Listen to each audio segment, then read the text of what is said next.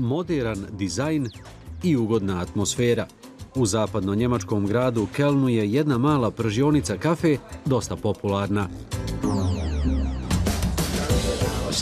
Ovdje imaju dosta dobru kafu. Rado dolazimo ovdje jer je raspoloženje veoma dobro.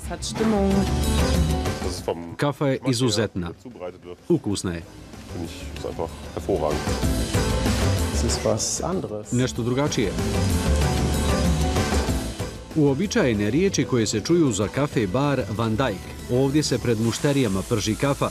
Ovdje se kreiraju vlastite sorte i akcenat se stavlja na organske proizvode. Martin Kess je bio među prvim u Kelnu koji se ovim poslom počeo baviti na takav način. To nije samo ograničeno na kafu. Ljudi žele znati odakle to dolazi, ko to radi. Barmenu u svijetu kafe se zove barista. Ljude sve više zanimaju priprema i vrsta kafe, prženje automati i mliječna pjena. Trosatni kurs u Van Dijku po osobi košta 69 eura. Voda mora prokuhati, malo se ohladiti pa tek onda pomiješati sa kafom. To je važno jer se inače izdvoje kiseline tako da i najbolja kafa može biti neukusna.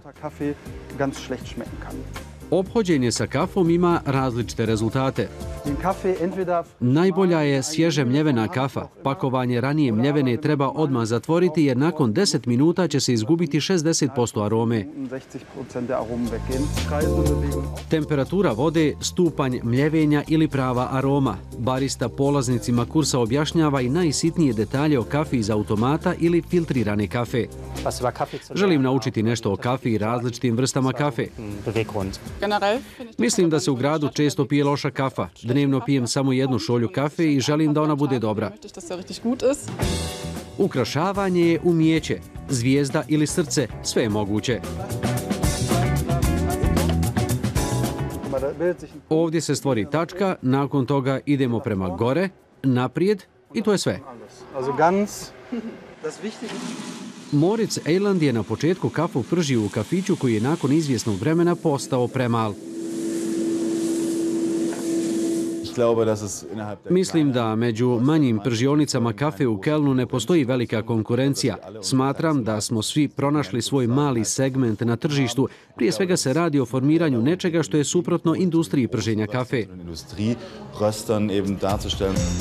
Svaki kafe bar ima svoj tajni recept. U jednom kafiću u Kelnu Sina Sadi više pažnje posvećuje filtriranju nego prženju kafe. Tradicionalno, kao kod bake ili takozvano sifoniranje. Mislim da je filtrirana kafa najbolja forma pravog užitka u kafi jer kafa je relativno složena. Okus je sve.